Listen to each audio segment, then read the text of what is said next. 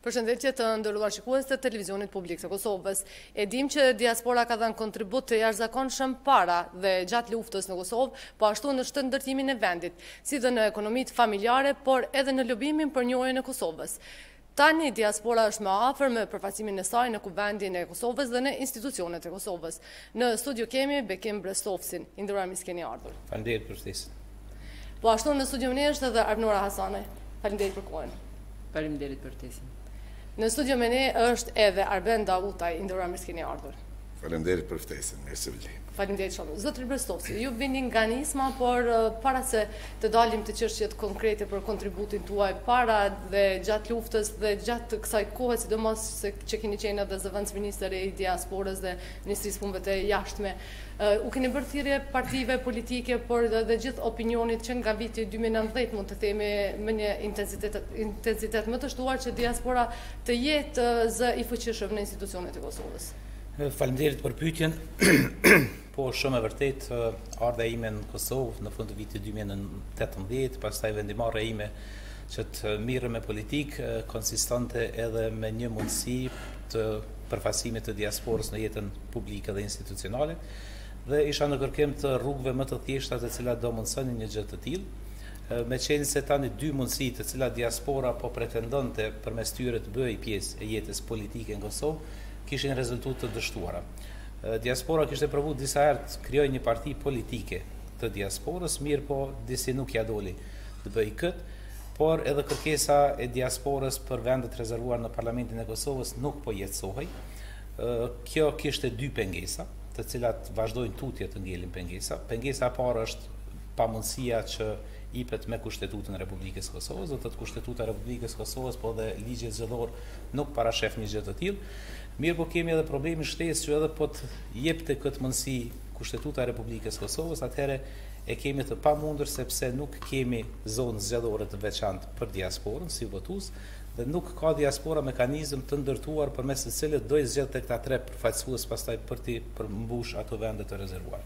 Kështu që mbeti i vetmi opsion pastaj i cili u artikulua edhe si koncept nga ana ime dhe iu drejtua të gjitha partive politike, që të hapin dyert brenda për brenda subjekteve politike, që të kanë vende të mjaftueshme të rezervuara për pjesëtarët e diasporës të cilët veç kanë dëshirë, vullnet dhe mundësi të mirren me politikë, që të kemi edhe struktura drejtuese në kuadër të partive politike për pjesëtarët nga diaspora, si dhe për ato parti politike të cilat bëhen pjesë e qeverisjes, pastaj të kanë dikastere të veçanta të cilat udhëheqen nga pjesëtarët e diasporës. Nisma Socialdemokrate e përmbushi këtë gjë përmes meje, ne pastaj qysh në vitin e dy mijë e nëntëmbëdhjetë mbas aderimit tim krijuam departamentin për diasporë, kuadër të Nismës Socialdemokrate, u bë një vend në struktura drejtuese të partisë, do unë mora rolin e sekretarit organizativ të dytë në partinë Nisma Socialdemokrate dhe në momentin kur Nisma u bë pjesë e qeverisë së Republikës së Kosovës, atëherë mora titullin ose postin e zëvendësministrit në Ministrinë e Punëve të Jashtme dhe të Diasporës me qëllim që të jem afër çështjeve që kanë të bëjnë me diasporën. E tani do të dalim tutje te kjo pjesa e udhëheqjes së këtij dikasteri. Zotri Dautaj, ju në Partinë Demokratike në çfarë mënyre e keni gjetur përfaqësimin e diasporës? Po, së pari ju përshëndes.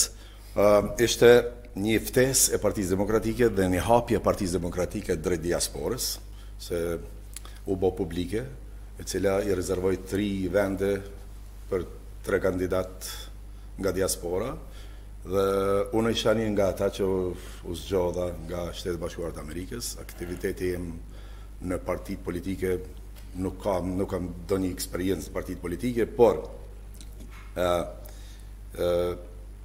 Ne të gjithë si gjithë shqiptarët jashtë vendit jemi marrë me një politikë pak më ndryshe, një politikë kombtare, por duke ditur dhe parë angazhimet e Partisë Demokratike rreth diasporës, unë me shumë dëshirë e pranova thirrjen dhe tani jam pjesë e Partisë Demokratike, e cila besoj që ka një projekt mjaft të hapur për pop që për qytetarët e Kosovës që e dinë që Partia Demokratike ka një projekt të rim, rimëkëmbjes të studiuar dhe detajuar shumë mirë dhe unë do jam pjesë e saj.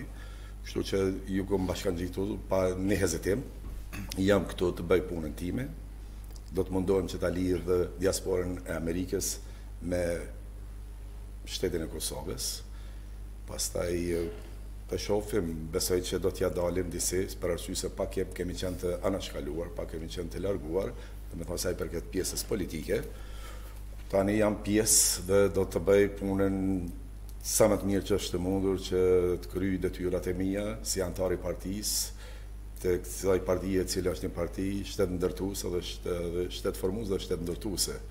Kështu që këtu jam që ta ndihmoj partinë gjitha mënyrat, definitivisht duke ndihmuar partinë, do do ta ndihmoj shtetin tim, prej të cilit kam nga i cili kam lindë dhe rrënjët nuk nuk i kam shkëputur kurrë nga ky vend. Që jeni shembull i mirë të tre për ruajtjen e trashëgimisë, vlerave kulturore, por edhe të historisë dhe mbështetjes qoftë edhe ajo financiare e cila e potencuat faktin për ruajtjen e vlerave kombëtare dhe nacionale. Absolutisht. Zonja Asani, ju jeni juriste me profesion. Çka ju shtyu të bëheni pjesë e Aleancës për Ardhmërinë e Kosovës? Janë arsye të ndryshme. E kisha një ofertë nga partia AAK që të kandidoj. Pika e parë që më shtyu të mendoj është se a kemi ne si mërgatë që jetojmë që shumë vite jashtë kontribut ose vlerë të shtuar në institucionet e Kosovës. Pas bisedave të ndryshme me bashkatdhetarë, besa edhe me politikanë zvicerianë, e konstatuam se mërgata shqiptare për dallim prej mërgatave tjera është shumë e lidhën me Kosovën. Ndoshta edhe për shkak të arsyeve të cilat e kanë shty popullin shqiptar me lëshu vendin.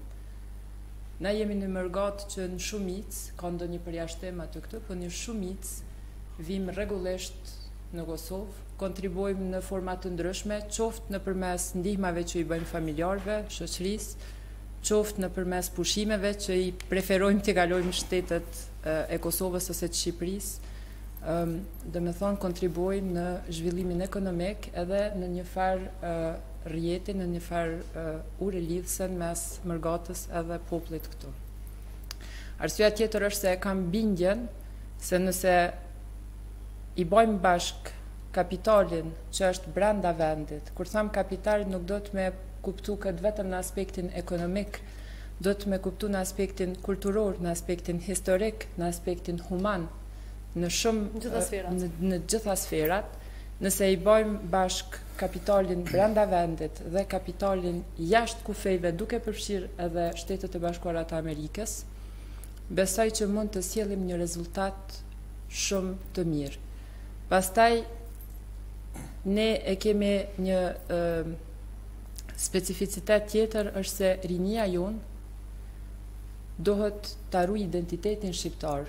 Fëmijët që lindin sot në vende të huaja, nëse nuk nëse nuk nëse nuk bën diçka shteti i Kosovës për të kriju lidhje me ta, Ata do të asimilohen dhe nuk e besoj që është në të mirën e vendit që ma shumë se gjysa e popullit të saj të ti të shkëputet nga vendlindja. Domethënë, bes, besoj që është kemi diçka për me sjell nga diaspora, nga vendet e ndryshme, eksperienca të mira, vizion ndryshe besa përsa i përket menaxhimit të politikës, Dhe kur i bëjmë të gjitha vizionet tona, të gjitha background-et, kur i bëjmë bashkë, mund të sjellim diçka të mirë.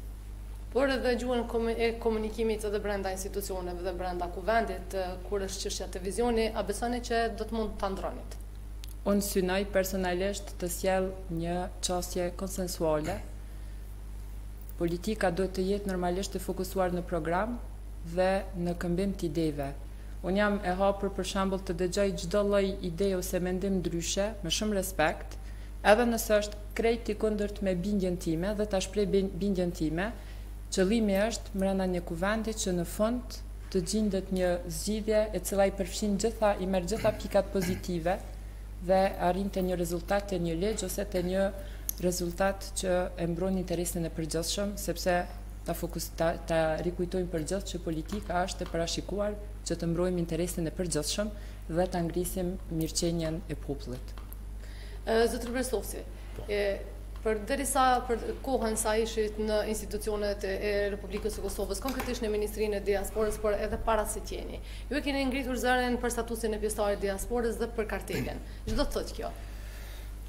Po, shiqoni, nëse Kthehemi pak në retroaktiv dhe shihni veprimtarinë time të viteve të fundit, e sidomos nga viti dy mijë e gjashtëmbëdhjetë kur ka qenë komplet e orientuar si aktivitet për diasporën, atëherë më lejohet të them që diaspora për mu nuk është vetëm një temë me të cilën mirrem, por diaspora për mu është një kauzë, një kauzë shumë e fuqishme, një kauzë e cila ka qenë edhe determinuese për ndrrimin e aktivitetit tim, nga ajo me çfarë jam marrë përpara edhe futjes sime në politikë.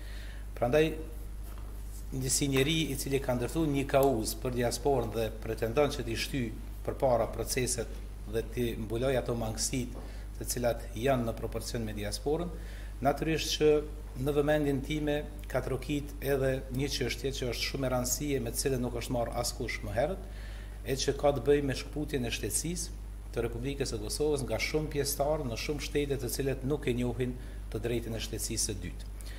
Dhe këta pjesëtarë tanë, që pjesëtarë të cilët me origjinë janë nga Republika e Kosovës, në aspektin de jure, trajtohen pastaj si të huaj, si të jenë shtetas të huaj, dhe natyrisht nëse i respektojmë të gjitha rregullat ligjore, kanë të drejtë qëndrimi në shtetin e origjinës së tyre vetëm tre muaj. Prandaj, besoj që Republika e Kosovës, në pamundësi për t'ju rikthy shtetësinë, sepse do kishte ndeshje pastaj me të drejtat në shtetet ku ata janë pritës, duhet që patjetër ta zgjidhë këtë problem përmes një ligji të veçantë, i cili çdo pjesëtari të diasporës i cili e ka humbë shtetësinë e Republikës së Kosovës, i njeh të drejtën e pjesëtarit të diasporës, duke e dëshmuar origjinën e Republikës së Kosovës, e pajis me një kartelë identiteti të pjesëtarit të diasporës, dhe në momentin kur pjesëtarët e diasporës gjinden në vendin e tyre të origjinës, atëherë ligjërisht trajtohen si të jenë shtetas të Republikës së Kosovës. Do të thotë kjo është shkurtimisht esenca e këtij propozimi, kësaj ideje time dhe që ka të bëjë me pjesëtarin e diasporës, kartelën e diasporës dhe të drejtat që ata duhet t'i gëzojnë. A do të mund të gjejë zbatim kjo bashkarisht? Unë mendoj se po. Unë mendoj se Në qeveritë e mëparshme, qeveria besoj se Partia Demokratike nuk e di me ka ishte në koalicion, kishte një ministri që ishte Ministria e Diasporës. Por me ardhjen e qeverisë, qeverive tjera, Ministria e Diasporës është shumë e dëmshme u largu hiç nga qëllimet e saj, nuk e di pse, por u largua nga dikasteret shtetërore. Por unë kam disa pika kështu të cilat i kam përmbledhur pak a shumë se çka Partia Demokratike ka në vizionin e saj për diasporën, ose që për diasporën për arsye se ne jemi pak të shkëputur dhe do të jetojmë në të nuk e di nëse kam kohë do të kisha përafërsisht pak a po, shumë. Për shembull kemi rikthimin e Ministrisë së Diasporës, që do të jetë hapi i parë i Partisë Demokratike. Ministri i Diasporës do të jetë një njeri i fuqishëm i diasporës, Domethënë do të jetë mini, do, Ministrinë e Diasporës do ta kontrollon diaspora. Një mini, një ministër nga diaspora. Rasti me Po, sigurisht. Pastaj kemi një nismë parlamentare për krijimin e ulëseve të rezervuara për diasporën. Sikur që është rasti me me pje pakicat që janë me pjesë të rezervuara për ne e kemi atë që do ta bëjmë me Me siguri me nëse futemi në parlament me kolegët e mi, këtë do ta nisim. Ka definitivisht me siguri që do të ketë ndryshime kushtetuese që nuk është edhe e lehtë, po do ta bëjmë atë. Do ta bëjmë lirimi i diasporës nga obligimet e sigurimit kufitar që vërtet kjo është një lloj hallke për që ka qenë edhe shqetësim i madh. Shqetësim i madh për për për diasporën, këtë definitivisht do do e bëjmë. Po do të bëjmë funksionalizimin dhe zgjerimin e kulturor të diasporës shqiptare e cila ka të bëjë shumë me rininë. Ka të bëjë me qendër kulturore që vërtet shteti i Kosovës deri tani nuk ka bërë, nuk ka bërë shumë, por këtë do e kemi në në planin tonë. Rritja e buxhetit të diasporës definitivisht, okay, i buxhetit të diasporës, buxhetit për Për për Ministrinë e Diasporës, se me rritjen aty ne do të mujmë të funksionalizojmë qendrat kulturore kudo në botë, që është shumë e nevojshme që mos ta humbim identitetin tonë dhe kjo lidhje do të na ndihmojë shumë. Kam mjaft kam inicimin dhe përfundimin e marrëveshjeve për sigurime sociale të atyre shteteve të cilat ku kemi, kur vijnë në Kosovë nuk ju njef të drejtën e shërimeve. Ne do ta bëjmë një inicim të tillë që që të t'i ndihmojmë diasporës që të vërtetë ta nin veten, si atje ku është në shtetin ku punon, kur të vijë në Kosovë ta ketë të njëjtën drejtë, inicimin e e e e Që të ketë lehtësira nga vendi i origjinës. A, a, po, absolutisht, absolutisht. Pastaj është një inicimi i i, i përfundimit të marrëveshjeve të punës sezonale me punëtorë të nevojshëm kompanitë shqiptare të cilat gjenden nëpër Evropë apo në Amerikë që të bëjmë marrëveshje sezonale për punëtorë verorë apo dimërorë, të cilët pak a shumë ndihmon në zbutjen e papunësisë në Kosovë. Tjetër, është shumë me rëndësi, shumë me rëndësi është që të bëjmë lidhje me ato ku kem ndikim që të sjellim studentë nga Kosova për studime në shtetet ku ne veprojmë. që është shumë e rëndësishme. Tjetra është edhe krijimi i kushteve për ekspertët që të fushave të ndryshme që ka mjaft në diasporë që të vinë të na ndihmojnë këtu në vendin tonë, t'i kthejmë aty në ato dikastere ku Kosova ka nevojë. Këto janë disa gjëra që Partia Demokratike do t'i ketë në Po shoh që bashkarisht po pajtoheni për gjitha këto çështje. Deri tani po. Unë pajtohem absolutisht me gjitha pikat që u thanë. Dëshiroj ta theksoj mirëseardhjen e propozimit të përfaqësuesit nga nisma. Për shembull e kemi shtetin e Gjermanisë, besoj që në atë shtet aluduat që nuk e lejon dyshtetësinë, Zvicra e lejon për shembull, Gjermania nuk e lejon. Pjesa e shqiptarëve që jetojnë në Gjermani është e konsiderueshme, edhe për ata tri që tash e gëzojnë vetëm shtetësinë gjermane.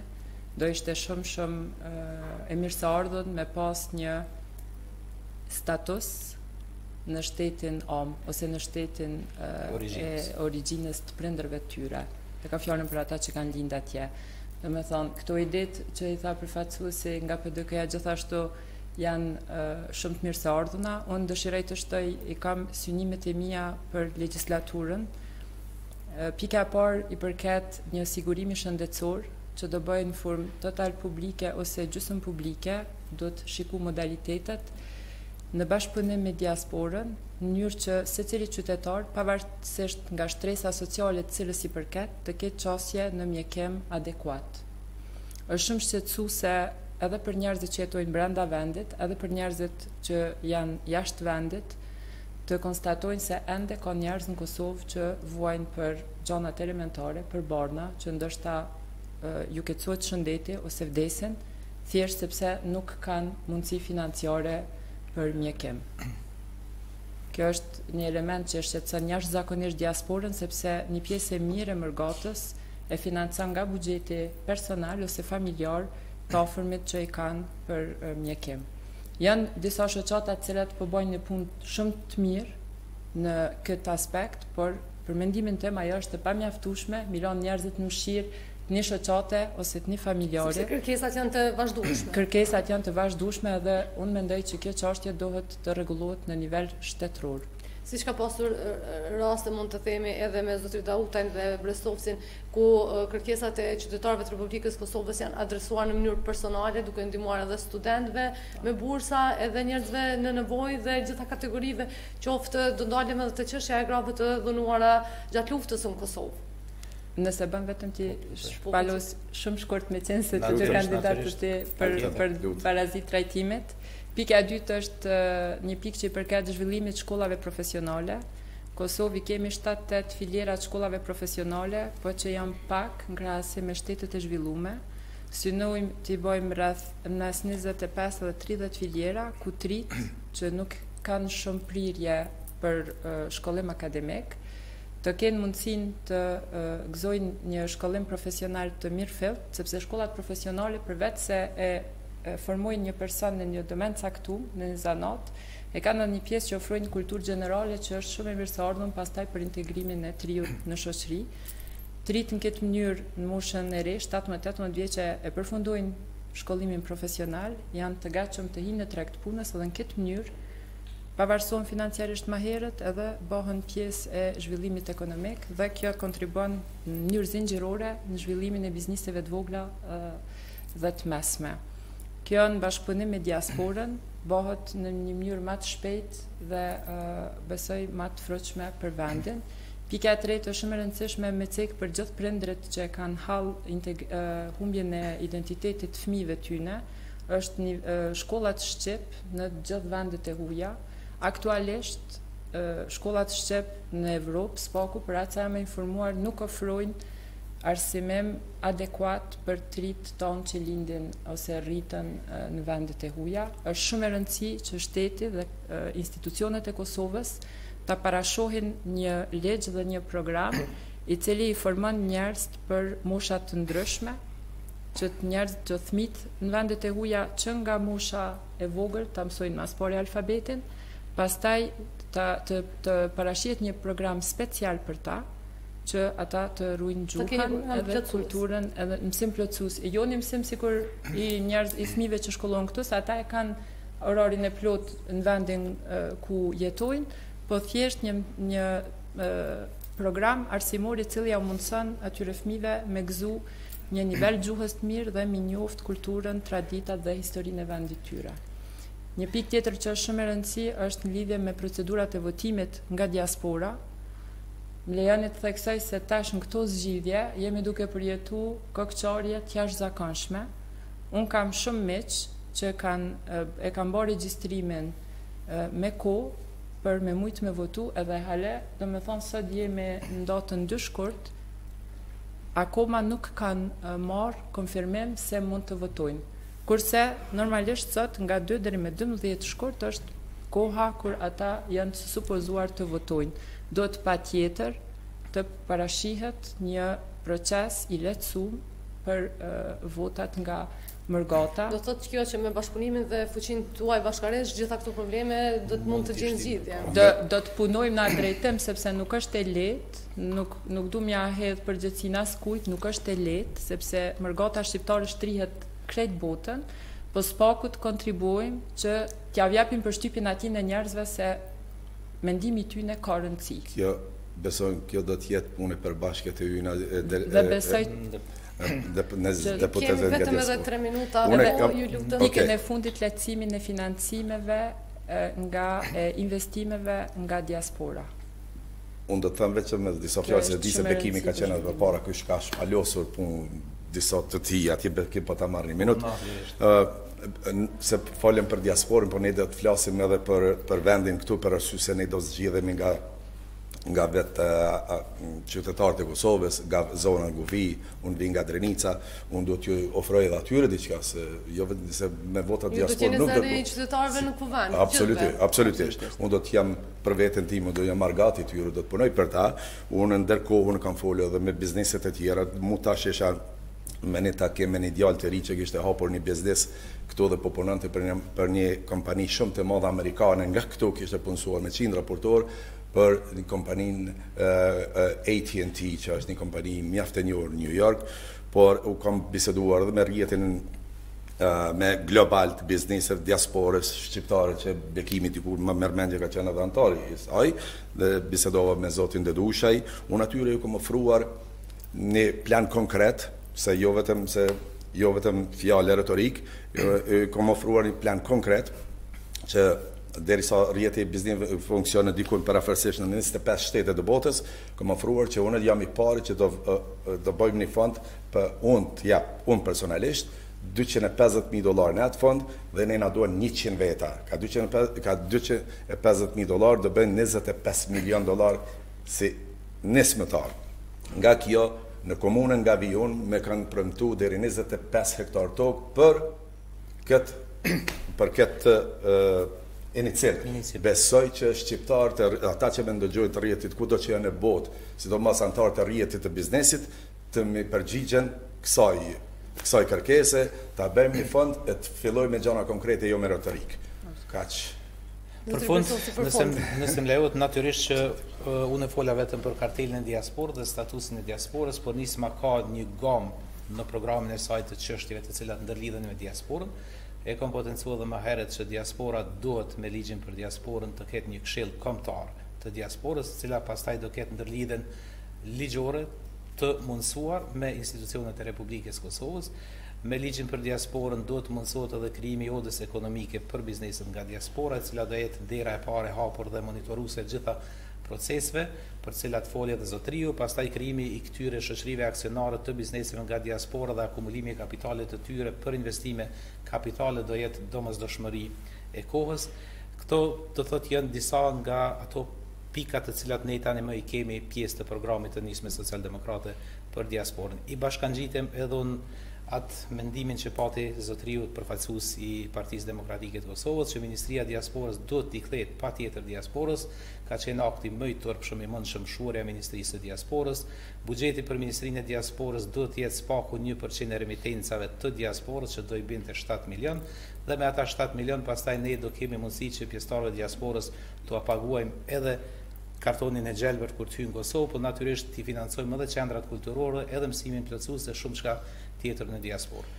Uroj e shpresoj që Parlamenti i Kosovës, legjislatura te të ketë sa ma shumë njerëz nga diaspora, deputetë nga diaspora dhe të gjitha këto propozime, këto ide të cilat i kemi sot ne bashkarisht, T'i jetësojmë pastaj në afatin sa më të shkurtë. Vetëm ta shtoj atë që mos të harrojmë që njëzet e pesë hektarë i kemi në dispozicion nga Komuna Drenasit, kështu që si ti si biznesmen unë të ftoj që t'i bashkangjitesh iniciativës me dyqind e pesëdhjetë mijë dollarë që t'i bojmë njëzet e pesë milionë edhe të fillojmë me gjëra konkrete. Duke ju uruar sukses edhe duke ju përshëndetur për gjitha këto nisma dhe gjithë këtë koordinim që shpresoj që edhe në Kuvend Të jeni kështu unifikues siç që ishit në studio, ju falenderoj për kohën dhe gjithë kontributin tuaj për zhvillimin dhe shtetndërtimin e vendit. Faleminderit. Faleminderit, faleminderit juve. Faleminderit. Faleminderit Bekim. Faleminderit, kënaqësi. Kënaqësia ishte imja. Dhe këtu e fillum mentalitetin konsensual. Suksese. Faleminderit. Shikues të nderuar, duke ju falënderuar për vëmendjen, edhe një herë ju rikujtoj se në studio ka qenë i paraparë të ishte i ftuar edhe Valdet Januzaj nga Lëvizja Vetëvendosje. Faleminderit shumë.